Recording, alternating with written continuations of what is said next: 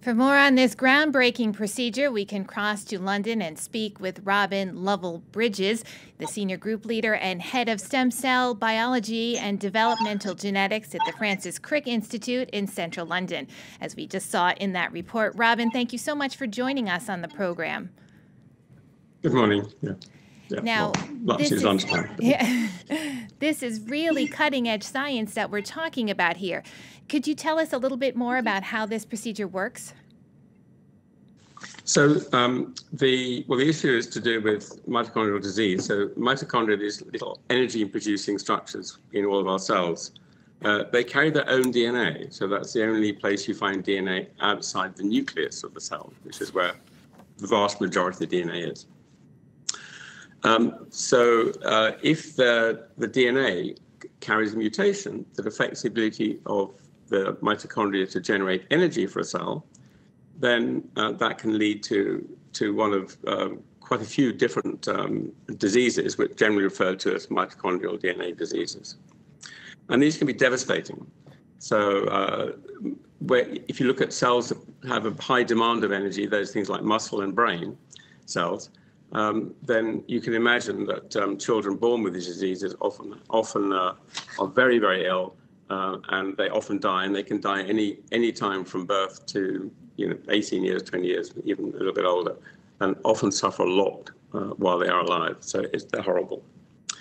Um, so the idea is to um, basically swap the mitochondria.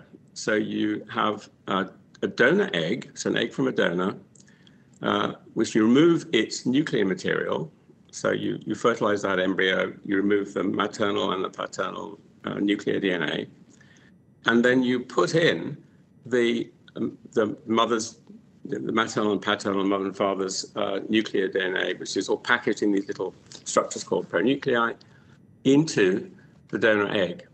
So you've basically lost the vast majority of the, the, the mother's mitochondria, mitochondria, the mitochondrial DNA, and replaced it effectively with that from the donor egg, which is, has normal mitochondria. And the evidence um, suggests, you know, there was good preclinical data to begin with, uh, and now this is the first sort of set of uh, proper clinical data that we've had to look at, and some follow-up of the children born, and say eight babies born, and they they all appear to be uh, free from the mitochondrial disease, or a chance of even or a chance of getting mitochondrial disease later. So it looks very, it's very, very good news. Now, uh, the process here, it involves gene editing. Is that correct? Uh, CRISPR?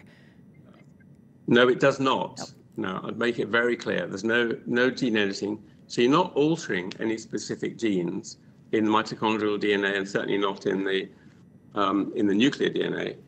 Uh, you are swapping the mitochondria, basically. So you're taking, you're not changing any specific gene. Uh, it, the people have been thinking about using the CRISPR genome editing methods uh, to try and alter genes within the mitochondria, but that's very very technically challenging, and the methods are not nowhere near uh, good enough or efficient enough or safe enough uh, to even attempt that.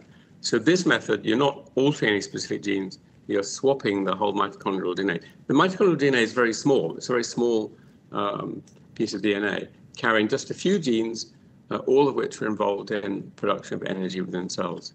So they don't, they don't carry any traits that you might recognize in people like, you know, hair color, eye color, whatever. Um, so nothing to do with that. Uh, thanks. I was uh, that that was a question that I had because the procedure is obviously the law had to change in the UK for this uh, to be able to happen. It's banned in the United States. It's banned here in France. Uh, I think maybe possibly over concerns that you could start having designer babies, as I, some critics have uh, referred to it. It was mentioned in the report there.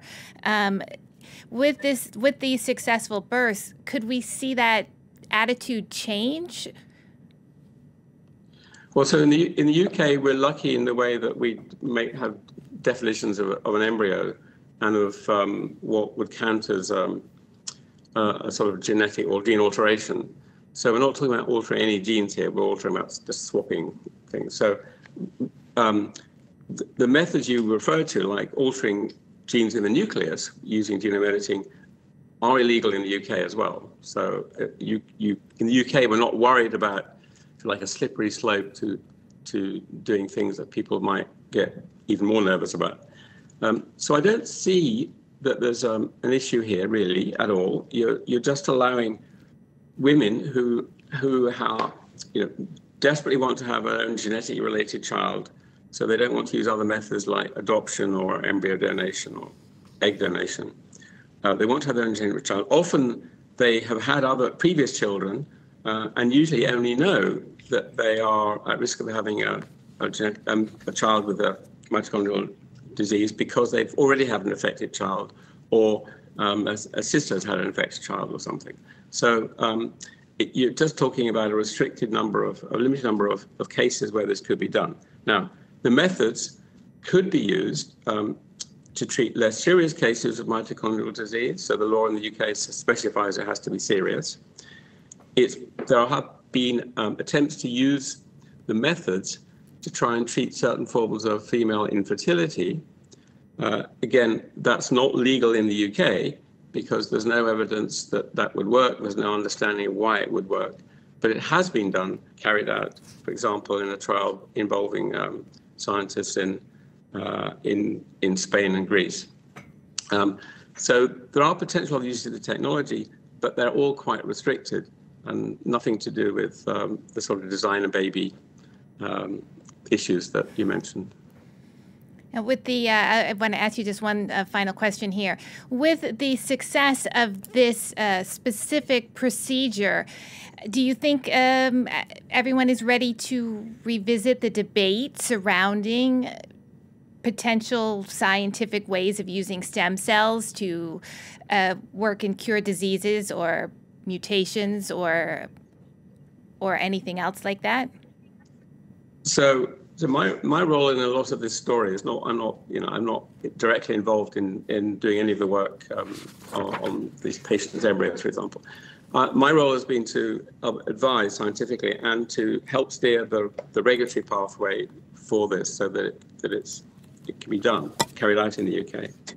And yes, absolutely, it's time to be debating all of these issues the more they're debated, um, uh, the, better will would be any regulation that come, comes um, out of it.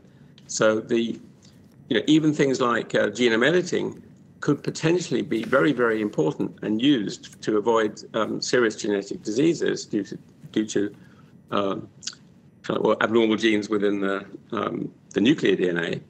But we can't do any of this unless we have a proper debate about whether it is at all acceptable and uh, how you limit it. You've got to have good regulatory processes where you can restrict any potential uses to those which are really serious and important and, and not do uh, things which are um, going to worry people, like, as you say, designer babies. Yes, I guess uh, that that is one of the concerns here. Um, we don't want the scientists, uh, sci- scientific stuff to be misused uh, in this situation. Uh, Robin, thank you so much for joining us. That's Robin Lovell Badges from the Francis Crick Institute in central London.